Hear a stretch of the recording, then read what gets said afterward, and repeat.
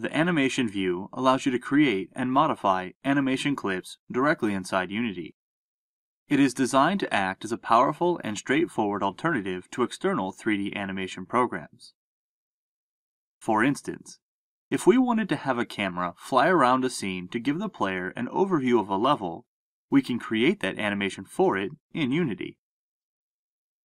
Here we have a scene with a camera in the corner. We would like to create an animation for that camera which will allow it to move from one side of the scene to the other. Since we want to make an animation for the camera, we will want to ensure that it is selected in the hierarchy view. We can then open the animation view by clicking Window, Animation. Like any other view, this is movable, resizable, and dockable. There are many different buttons and options visible when you first open the animation view. First and foremost is the animation dropdown. Here is where we can select our different animations to edit. Since we don't currently have any animations, this dropdown is blank except for the ability to create a new animation. When you create a new animation, you will be prompted for a name and location to save the animation file. We will create an animation called Camera Fly Through and place it in the Animations folder. The Add Curve button allows us to choose which components of our object, or any child objects, we wish to modify with our animation. Each component can be expanded to view more options. To add a curve, click the plus sign next to the item you wish to add. Since we want our camera to fly around the scene, we will add the transform's position and rotation. The timeline is where you will be able to establish the timing of your animation. The timeline is measured in frames and seconds. The red scrubber allows you to choose what frame you wish to modify. Next is the record and play buttons. When the record button is pressed, changes made to the chosen object in the scene view will be added automatically to the animation at the currently selected frame.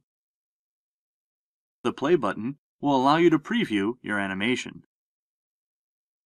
The left and right arrows allow you to navigate through the keyframes of the animation. Next are the buttons which allow you to add keyframes and events to the currently selected frame.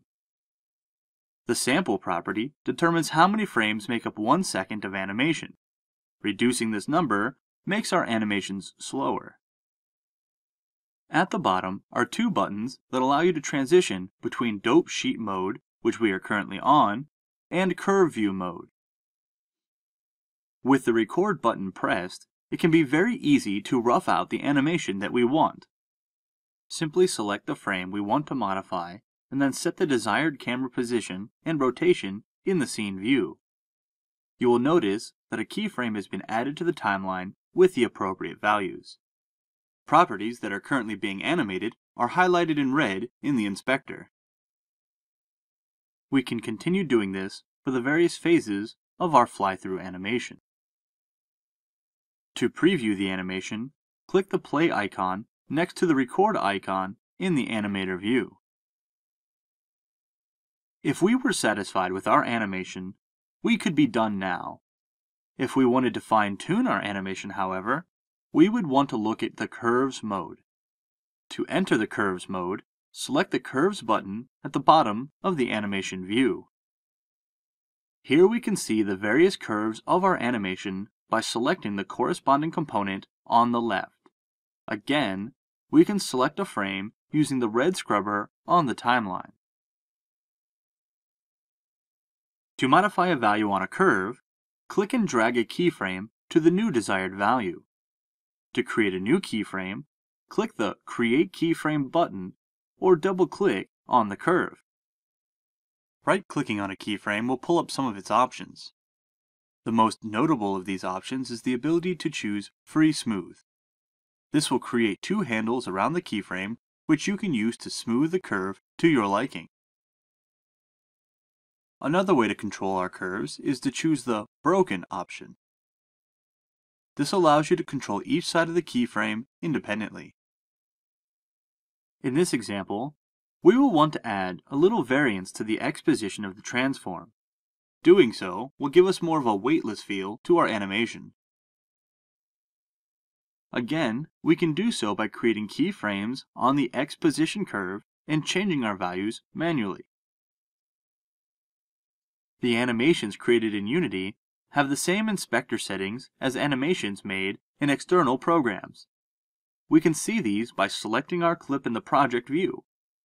Since we want our camera to fly across the screen only once, we best uncheck our loop time property. It is interesting to note that an animator is in charge of animation playback for generic objects the same as it is for humanoids. Unity has automatically added the animator to our camera and created an animator controller, a state machine, and added it to this component.